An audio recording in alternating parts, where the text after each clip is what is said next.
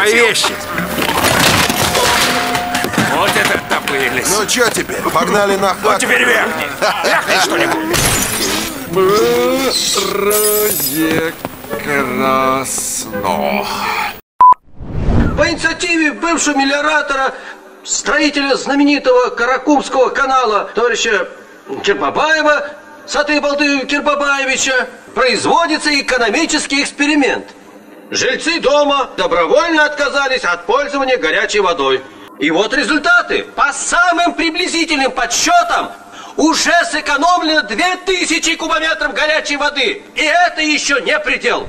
Не благодарите за присоединение. Теперь не только денег нет, но вы держитесь, но и воды тоже нет. Что такое? Вода. Что? Ты сказал, что умираешь от жажды, я дал тебе воду.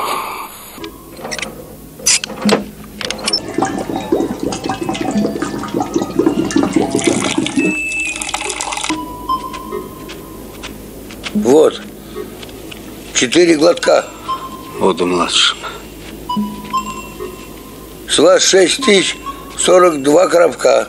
А, Мне вот интересно, когда они воздух станут запрещать? Короче, в Евпатории до конца года отключили горячую воду с целью ее экономии на фоне засухи. Вы чувствуете эту железобетонную стабильность? Совсем недавно пару деревень на дрова перешли. Месторождение стащило свои ресурсы и пиздец. Привет, дрова и уголь, а теперь и до воды добрались. Вальдемар четко исполняет свои обязанности, данные 20 лет назад. М?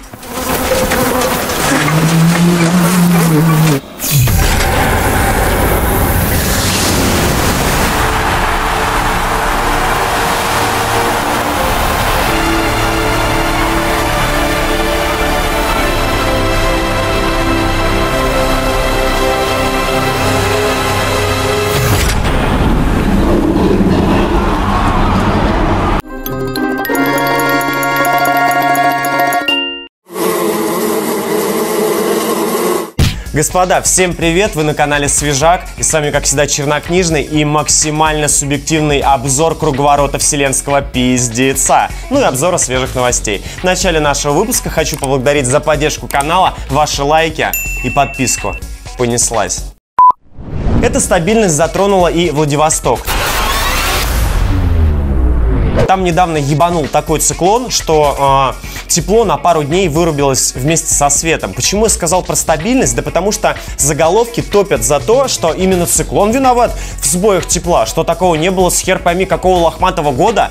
Офигеть. Местные власти заявили, что будет сделан перерасчет за отсутствие тепла и света. А теперь представьте, вы сидите в своей теплой квартирке, попиваете чаечек, а лучше нет. Вы бежите с работы, чтобы быстрее включить свежак. Вбегаете в квартиру, ставите электрический чайник, врубаете свежак и хуяк, хуяк и ничего, кроме холода и морозного пиздеца. А вам потом местный губер, мы сделаем перерасчет. Вы не волнуйтесь, Россия не победить, правда ведь? Россию не победить, а вот насчет Франции не уверен. На рост пиздеца во Франции набирает стратегические обороты. В головы полицаев летят бутылки и зажигательные смеси. В головы протестующих летят гранаты со следоточивым газом плюс водометы. Любители лягушачьих лапок рубятся против закона о глобальной безопасности. А конкретно французам не нравится статья, а, которая запрещает снимать полицаев, которые пиздят дубинками нарушителей масочного режима или просто любых полицаев а, при исполнении. Накануне, брызнувший слезоточивым газом полицейский 55-летнему инвалиду на коляске в лицо получил 4 месяца условно. Не после этого ли случая французы в погонах решили прикрыть свои тощие задницы законом, из-за которого у них происходит очередной разъеб?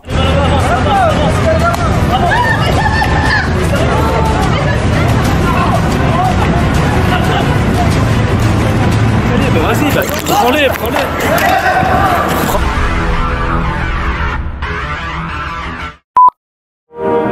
не снятся хорошие сны. Точнее, иногда снятся, но я их практически сразу забываю. Я хорошо запоминаю кошмары.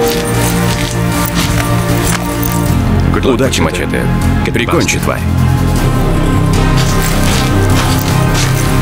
То, что мы не стоим на месте и новые технологии становятся неотъемлемой частью нашего выживания, уже доказал Рогозин своими песнями. Мне кажется, что когда Илон Маск узнает о наших новинках и инновациях, то он просто заплачет. В одной из российских деревень на уличной колонке заменили металлический рычаг на автоматическую херь, которую нужно прикладывать электронный ключ, так как в этой деревне в частном секторе из крана идет только техническая вода. Автоматическая колонка является настоящим спасателем для местных. Теперь я понимаю, что такое настоящая нанотехнология. Как тебе, Илон Маск? М? Вы только представьте Рогозина, его с его песнями и гитаркой, который прикладывает этот синий подъездный ключ к автоматической колонке. Льется вода в детское ведерко, а сбоку плачущий Маск, который понимает, что до таких высот ему никогда не добраться. К слову сказать, на протяжении долгих лет песня «Нас бьют, мы летаем» в исполнении Пугачева была неформальным гимном российского ЛГБТ-сообщества.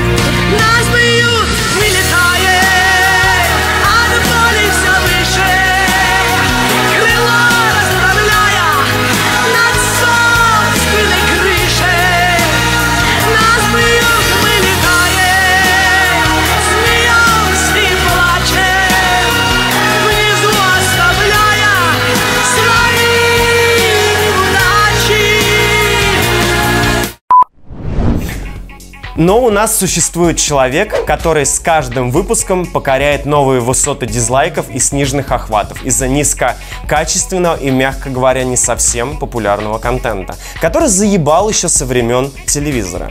Искусник низкосортного варева снова отчебучил такую хуйню, что ее просто невозможно не показать. Пародии, которые вообще не в кассу против женщин Беларуси. Ему не хватило? Солнечному миру? Да, да, да. Ядерному взрыву? Нет, нет, нет. Так тот высмеял Обаму, используя песню «Шоколадного зайца», что сам шоколадный заяц заступился за Обаму и не только. Мой шоколадный глазик, его на унитазе приятно почесать. Как и кто им придумывает эту дичь, непонятно, но это даже хайпом трудно назвать. Низкосортная блевотина, которую кислотой не вывести, не выжечь, которая а, вызывает гневные комментарии у людей, потому что никакого сарказма в этом нет и не пахнет. Что думаете по поводу передачи Киасаяна на ютубе? У нее есть вообще будущее с таким контентом? Не стесняйтесь, пишите откровенные комментарии, а то вы только мне привыкли гадости писать. Тут вообще не стесняется усатого фельдмаршала с дерьмом смешивать, а потом на слете пропагандистов жмет ему а, руку, улыбается и восхищается его силой воли и стойкостью. Мы выдавили повстанцев с улиц в автозаки, но они собираются мелкими группами по 100 тысяч человек, лорд Вейдер. Спасибо, ребятки! Да пребудет с вами анонимная сила! От семейных ценностей переходим действительно к хорошим новостям. В Госдуме допустили снижение цен на ритуальные услуги. Слушайте, ну к этой новости можно добавить рекламу. Лада – все лучшее людям. Чувствуете налет стабильности? А теперь я хочу серьезно поговорить со своими пенсионерами, которые являются моей целевой аудиторией, которая, порицая мои трехэтажные маты, покрывают меня трехэтажными матами. Да, Тамара Константиновна и Эдуард Венедиктович? Давайте договоримся. Я дозирую мат, вы учитесь нормальные комментарии оставлять. А за это я вам прочитаю интересную новость, которая точно вам понравится. Да не только вам, она должна всем нам понравиться. Владимир Путин жестко раскритиковал действия правительства в ситуации с ростом цен на социально значимые продукты. Цитирую. Реально располагаемые доходы упали на сколько там? На 3, на 4,3%, а цены на сахар выросли на, на 71 с лишним процент. Люди себя ограничивают, потому что у них денег нет на базовые продукты питания. Куда? Куда вы смотрите-то? Вот это вопрос. Вот это уже не шуточка. Ну что, будем следить за развитием событий. Владимир Владимирович жестко покритиковал чиновников, и на следующей неделе они должны дать какой-то ответ. Ну что, будем следить за развитием событий. На следующей неделе ответственные должны выпустить соответствующие управленческие решения в виде документов. Я не знаю, что это такое, но звучит заебись. Как думаете, э, серые кардиналы смогут остановить рост цен на социально значимые продукты? Господа, понравился выпуск? Не забудь поставить лайк, бей в колокол. До новых встреч!